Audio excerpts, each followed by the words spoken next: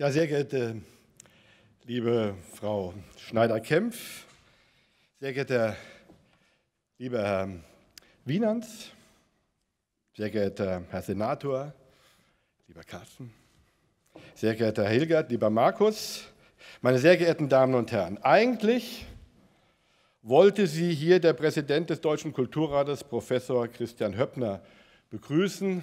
Er musste kurzfristig absagen, weil eine Grippe ihn flach gelegt hat. Und auch bei meiner Stimme merken Sie, dass sie auch ein wenig angeschlagen ist. Ich hoffe, Sie können mich trotzdem gut verstehen. Mein Name ist Olaf Zimmermann, ich bin Geschäftsführer des Deutschen Kulturrates.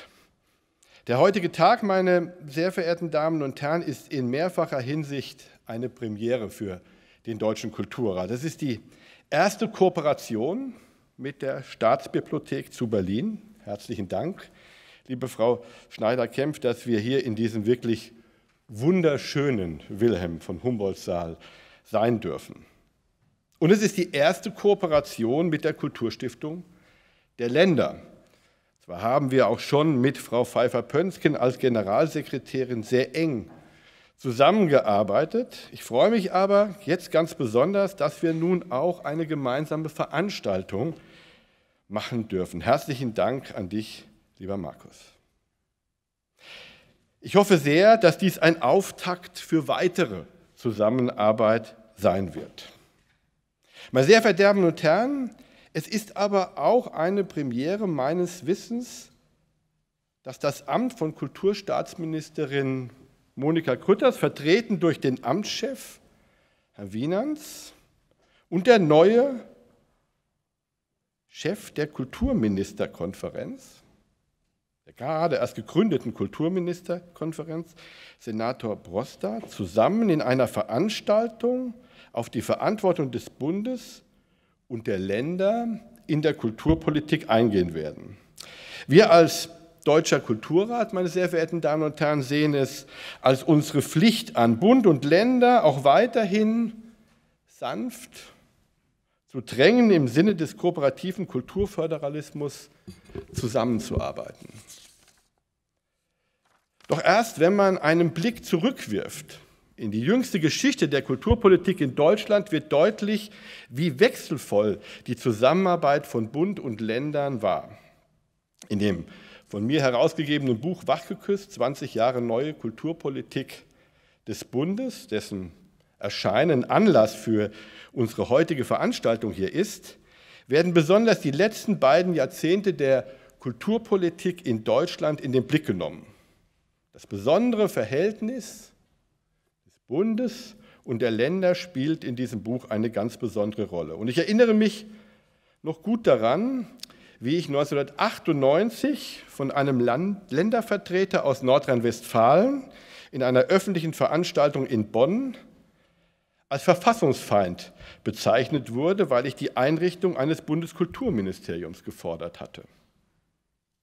Auch sah sich das von Helmut Kohl geführte Bundeskanzleramt damals gemüßigt, mir ein Grundgesetz zu schicken, damit ich erkenne, wie unsinnig und unmöglich der Vorschlag des Deutschen Kulturrates nach Stärkung der kulturpolitischen Kompetenz des Bundes sei.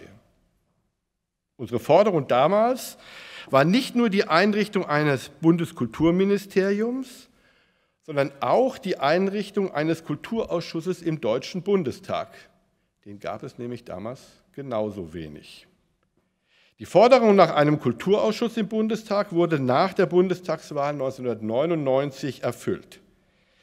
Die Schaffung eines Bundeskulturministeriums wurde mit der Einrichtung des Amtes der Kulturstaatsministerin im Bundeskanzleramt nur teilweise erfüllt.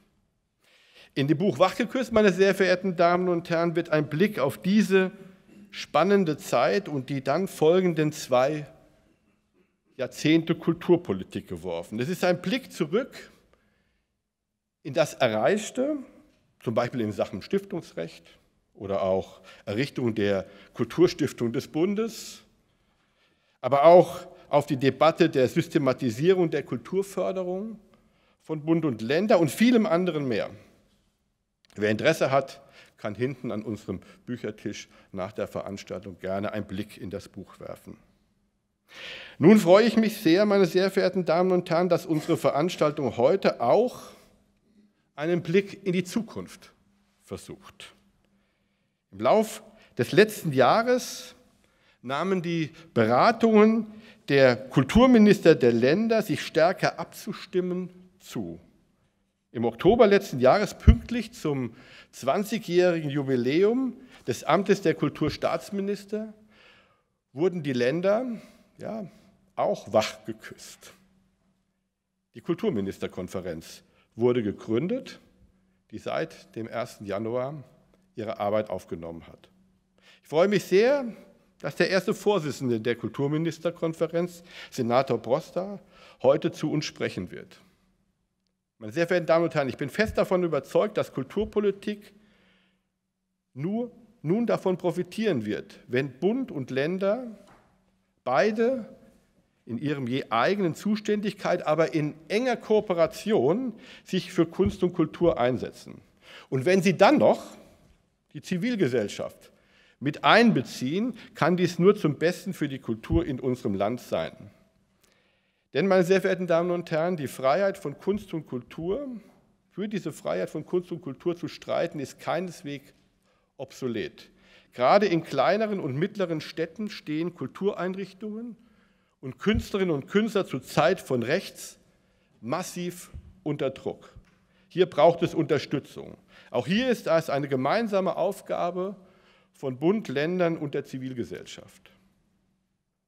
Meine sehr geehrten Damen und Herren, die Berliner Zeitung hat heute in ihrem Tagestipp auf diese Veranstaltung hingewiesen und, wie, finde ich, wie ich finde, sehr sympathisch geschrieben, dass diese Veranstaltung für jene ist, ich zitiere, die nicht einfach immer nur irgendwo hingehen wollen, wenn sie zufällig Zeit haben, sondern die sich für die Grundlagen und Möglichkeiten interessieren und einen Plan haben. In diesem Sinne, meine sehr verehrten Damen und Herren, freue ich mich über jede und jeden von Ihnen, die heute hier zu uns gekommen sind. Ich freue mich sehr auf die beiden Vorträge und die anschließende Diskussion und bitte jetzt unsere Moderatorin Barbara Scherle auf die Bühne. Danke für Ihre Aufmerksamkeit.